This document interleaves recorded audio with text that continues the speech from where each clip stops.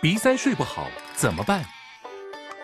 欧治鼻鼻喷剂，轻轻喷在鼻塞部位，几分钟内迅速解除鼻塞，效果长达十二小时，不添加类固醇，睡得好，精神好。欧治鼻，享受畅快呼吸。只想喝啤酒？我好想吃水蜜桃哦！真的假的？龙泉水蜜桃啤酒，好喝的没话说了吧？有水蜜桃香，也有啤酒香。龙泉水蜜桃啤酒，还有柠檬口味哦。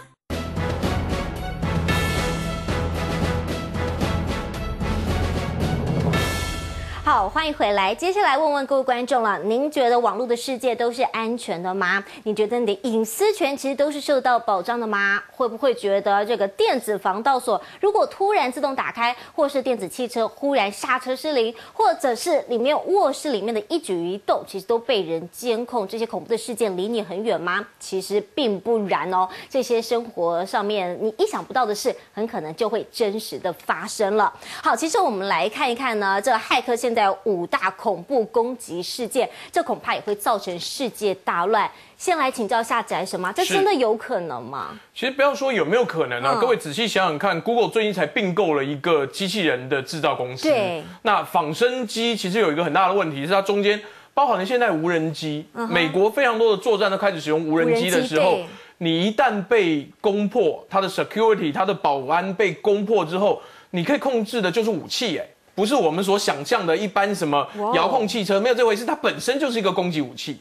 那当你的所有东西越来越三 C 化、越来越自动化、越来越互联网化的时候，还记不记得很多人会告诉你说，物联网接下来的商机有多大多大？什么叫物联网？你家的电锅、你家的冷气、你家的电冰箱、你家的热水器、你家的空调，全部可以连上网络。那所以你用手机可以控制这些系统，对不对？对。那如果你手机可以控制，我可以控制你手机，我是不是可以控制你房间的温度？对，瞬间上升到三十度，一切全部都被别人给控制了，真的可以被入侵了。那这几项当中，这翟生，你帮我们选一下吧？你觉得哪样最恐怖呢？我觉得比较大的问题是工业设施面临严峻挑战这件事情，因为过去呃曾经有一个很神秘的病毒叫 Steinex，Steinex 不感染任何你所知的任何电脑，它完全没有作用。它只针对某些以十五跟四十五为方式组合的机器，它只攻击这种机器，而且在现行的你的列表里面找不到这种机器。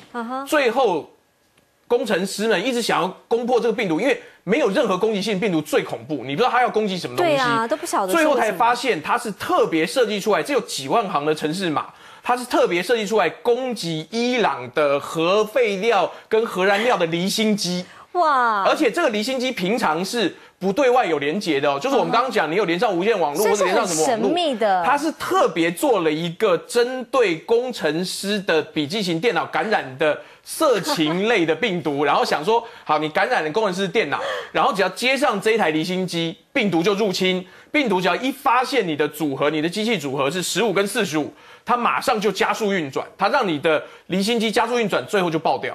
哇！可是刚刚讲的这个伊朗的核武器，感觉起来还是离我们日常生活有点远啊。有没有一些实际上的例子？有，很简单啊。我我讲明了，你要不要坐高铁？坐啊。对，那高铁是怎么样子判断它应该停车或是启动的？电脑吗？对，是它不是用眼睛看的哦，因为速度太快了。嗯。那请问我可不可以让你一路不停开进台中站，然后前面其实有一台车？所以说它也可以造成。爆炸了！如果它可以造成各种各样，譬如说刚刚讲的天然气泄漏，它可以从源头端我直接进入你的电脑加压，造成中间的管线超过压力，然后就爆开来，天然气泄漏。那甚至它可以造成所谓的高低压。为什么我们有的时候会讲说备载容量？备载容量就是在发电高峰跟低谷之间要保留一些流量，避免跳电。那我可以把这个系统改掉，让它的供应电源不足以支撑夏季电量。他就跳电啊。所以说要攻击一个国家，不需要用到武器，其实养几个骇客来入侵也是可以的，对不对？是，感觉起来真的啊。好恐怖哦！但是呢，在发生在你我生活当中，又有什么样恐怖的例子吗？你敢相信你在房间里做什么样的事情，竟然也有人来监控？这是一个真实的案例。一个二十岁的女生在浴室泡澡的时候，她开着笔电来看电影，万万没有想到，这个电脑的镜头竟然是自动开启了。哎，她在洗澡，哎，这个笔电的镜头竟然开了，怎么会有这样的事情？我我想应该要这么说了，骇客如果不是你在洗澡，他平常开你笔电干什么？那他怎么晓得他在洗澡？那很简单，因为这是一个简单的邮件病毒，就是你今天在下载了这个邮件，跟 LINE 最近常用的方式一样，说，哎，好久不见啦，上次拍照，你看你好好笑，好，这有一个连接，你点进去了，电脑就在幕后自动帮你下载了一个病毒，这个病毒的功用是在你不注意的时候，开启你的笔记型电脑的摄影机。所以这唯一的方法是，请各位开笔记型电脑的时候，请你注意那个绿灯有没有亮。嗯哼。因为一般来讲，我们那个绿灯就是在荧幕上方的这个摄影机一般是不开的，除非你打开跟人家做视讯。那如果平常开了，那你就知道完蛋了。而且还没完，当你被人家偷拍之后。他甚至叫你就是性奴，sex slave，什么意思啊？因为我拍你裸照，对不对？拿这个威胁你。对你如果不再给我拍，或是你不汇钱给我，我就让你放上网络，让全宇宙的人看。那这个比李宗瑞还要坏。对啊，这已经是衍生成一些社会的事件了嘛。好，那看完这些社会事件以后，其实大家也很好奇啦。Z 九本身是工程师嘛，对不对？那有没有一些公司行号其实也有类似这种案例呢？要防间谍的案例呢？其实我们不要讲笔电，我们讲最常用、最常用的呃手机简讯啊。我们现在传简讯都用什么？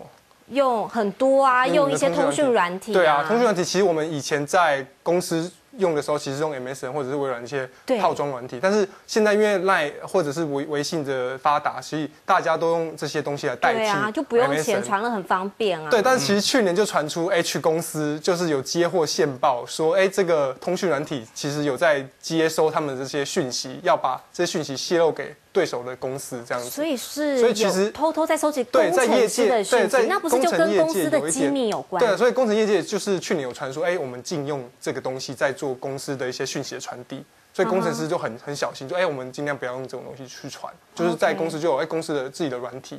OK，那其实 WeChat 是不是也有类似的问题呢？我我想这一类的中国的通讯软体啊，很多人，包含当年可能大家不知道，Skype 甚至有中国版跟国际版。那许多网友怀疑中国版里面是不是有后门？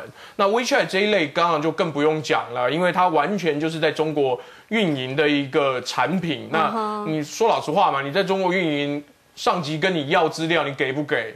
当然给啊，对不对？那你想不想资料也给别人呢？如果你不想，建议你不要用这一类的产品。OK，所以说还是自身也要有一点点提高警觉了。只不过我们看到呢，其实手机软体有，但是手机的 SIM 卡是不是也有可能成为人家犯罪的工具呢？对啊，现在其实技术甚至进入到 SIM 卡，只要用电信商发一封简讯给你，哎，你的 SIM 卡其实就会被入侵，所以会把你呃手机里面的资料传传到远端去，让整个盗用。哇，所以说就由电信商啊，他是发一个假的讯息，发一个假的讯息让你去按，或者是其实你可以不用按，因为电信商有些呃简讯是自动认证的，所以它其实用电讯上的方式就是直接把你。呃，手机的 SIM 卡入侵，嗯哼，但其实我觉得是很高阶的一个技术，一般人其实不用太担心，因为我们不是有什么什么达官显要，对呀，我都想谁要发给我，这些其实是那种高官显要要担心的一些事情啊。但是其实这背后引申了一个什么问题？就是其实我们的一些隐私的安全，全部都已经是被监控了，对不对？对啊，其实甚甚至现在 Google Google 它的呃社群网站 Google Plus，它其实它现在有有一个广告说，哎，他可以用你的呃动态去。做一个广告，他直接用你平常在发的动态说：“哎，我我今天觉得，比如说这个手机好。”他用你这句话去做一个广告，啊，就是直接用你的东西去做去做宣传，所以感觉起来隐私都没有啦。不，我我直接补充一个东西，因为 Google 最简单的服务没有这样的差别。我告诉你，我跟你之间，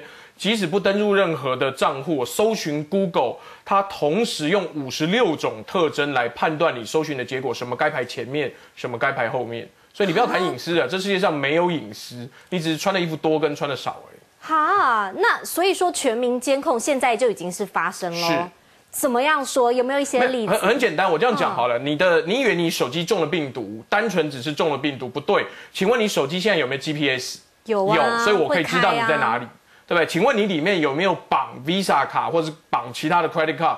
我有，哎，那所以我也掌控了你的。这些些信用卡的消费进度。嗯好，请问他有没有绑你的粉丝团？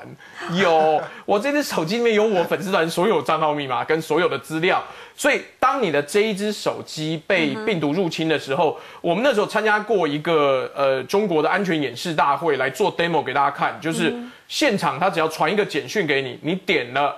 你所有的通讯会同时被发到第三方的机器上面留存，包含。